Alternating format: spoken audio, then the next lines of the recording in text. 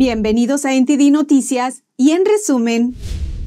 Al otro lado de la calle de la Corte Municipal de Ubalde se instalaron sitios conmemorativos para recordar a las 21 vidas perdidas en el tiroteo en la escuela, pero las flores, las velas y las oraciones no borraron el dolor. Sí.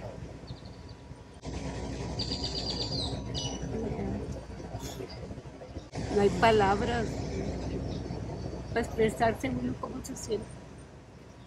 María Álvarez dijo que su bisnieta asiste a la escuela primaria Rob. Ella tuvo suerte de sobrevivir al tiroteo, pero otras familias sufrieron pérdidas abrumadoras. Vincent Salazar dijo que a su hija de 11 años, Laila, le encantaba nadar y bailar. Sus hermanos la describieron como una niña dulce, positiva y llena de energía. La familia se enteró del tiroteo por un mensaje de texto del distrito escolar. Intenté ir a la escuela, pero no pude. No dejaban pasar a nadie a ningún lado. Y luego recibí otro mensaje de texto diciendo que recogiera a los estudiantes en el centro cívico en el centro. No fue hasta la noche cuando les dijeron que Laila era una de las víctimas. Nos pidieron el ADN y se lo dimos. Y una hora después nos lo confirmaron. Maite Rodríguez, de 10 años, empezó con EFES cuando comenzaron las clases por Zoom durante la pandemia, pero este año entró en el cuadro de honor con todas las A y todas las B, su familia explicó que el día de su muerte debió ser un día de triunfo para ella. Ella trabajaba mucho. Yo solo la animaba y le ayudaba cuando podía, pero era ella y se esforzó hasta llegar a la categoría A, B del cuadro de honor. Ese día, en realidad, ella recibía otro premio. La tragedia se extendió a la familia de Irma García, una de las profesoras de cuarto grado que murió protegiendo a los alumnos. Su marido Joe García falleció el jueves de un aparente ataque al corazón. La familia dijo en GoFundMe que Joe murió de pena tras perder el amor de su vida de más de 25 años. Organizaciones sin fines de lucro están haciendo donaciones a cada una de las familias afectadas por el tiroteo. Nada les quitará y reemplazará a su hijo, lo entendemos, pero con una donación importante, sabemos que muchos de ellos no van a poder trabajar, pagar el coche y cosas así, así que eso es lo que vamos a hacer. También invitaron a perros de terapia a Ubalde, con la esperanza de brindar algo de consuelo a la comunidad. A pesar de la invasión rusa de Ucrania, Estados Unidos deja claro que China sigue siendo la mayor amenaza para el orden mundial. Incluso si el trabajo del presidente Putin continúa, estamos concentrados en el reto más largo y serio para el orden internacional, y ese es la República Popular de China. En un discurso pronunciado el jueves, el secretario de Estado Anthony Blinken articuló la estrategia de la administración Biden para China en tres palabras. Invertir, alinear, competir. Eso significa invertir a nivel nacional, trabajar con los aliados y superar a China en áreas clave. El objetivo es defender las reglas globales frente al comportamiento de China. No podemos confiar en que Beijing cambie su trayectoria, así que configuraremos el entorno estratégico en torno a Beijing para hacer avanzar nuestra visión de un sistema internacional abierto e inclusivo. Blinken también señaló las prácticas comerciales desleales de Beijing, los abusos de los derechos humanos y las acciones agresivas en el mar de China Meridional. Dicho esto, Está señalando estas cosas, pero no da ningún sentido real ni detalles concretos de lo que realmente va a hacer. Grant Newsham es investigador senior del Centro de Política de Seguridad y dice que Blinken no ha señalado acciones específicas.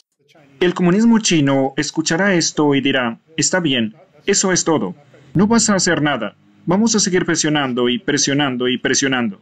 Y Blinken dice notablemente que Estados Unidos no busca una guerra fría con China, añadiendo, No buscamos transformar el sistema político de China. El secretario dice que no queremos cambiar el sistema comunista chino. Bueno, los chinos se aseguraron de cambiar el nuestro, y no se vio ningún sentido real de urgencia o preocupación.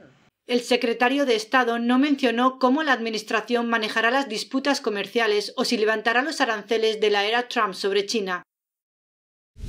El avance de las fuerzas rusas se acercó el jueves a las tropas ucranianas en el este, tomando brevemente posiciones en la última carretera de salida de un par de ciudades cruciales controladas por Ucrania en Donetsk, antes de ser rechazadas. El gobernador de Luhansk afirmó que más del 90% de la provincia oriental estaba bajo ocupación rusa. La situación es muy tensa porque los rusos enviaron todas sus fuerzas para asaltar la región de Luhansk para capturar ciudades o tomar las carreteras bajo su control, pero atacan desde diferentes direcciones. También insinuó nuevas retiradas ucranianas diciendo que era posible que las tropas abandonaran un asentamiento tal vez dos. Tenemos que ganar la guerra, no una batalla. El exsecretario de Estado estadounidense Henry Kissinger sugirió esta semana en el Foro Económico Mundial de Davos que Ucrania debería dejar que Rusia se quede con Crimea, que se anexionó en 2014 a cambio de la paz. El presidente ucraniano Volodymyr Zelensky dijo que la idea olía a los intentos de apaciguar a la Alemania nazi en 1938.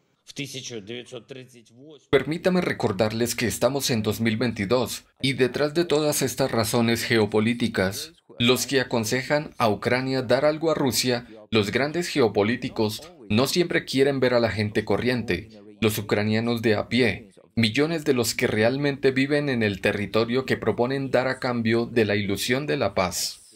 Durante su visita a Bosnia-Herzegovina, la ministra de Asuntos Exteriores británica Liz Truss acusó al presidente ruso Vladimir Putin de haber convertido el hambre en un arma y de tener al mundo en jaque al bloquear los vastos suministros de grano que provocan la escasez mundial y el aumento de precios. No podemos permitir que esto ocurra. Putin tiene que eliminar el bloqueo al grano ucraniano. Haremos todo lo posible con nuestros aliados y socios para sacar el grano de Ucrania y abastecer al resto del mundo. Dos soldados rusos acusados de crímenes de guerra en Ucrania comparecieron en una segunda audiencia del juicio en una ciudad del noreste del país. Se les acusa de bombardear infraestructuras civiles con un lanzacohete múltiple y ambos se declararon culpables. Si son declarados culpables, los militares podrían ser condenados hasta 12 años de prisión. El Ministerio de Asuntos Exteriores de Rusia dijo el miércoles que se crearía un tribunal en la autoproclamada República Popular de Donetsk para someter a juicio a los combatientes ucranianos que resistieron dentro de la planta siderúrgica de Mariupol.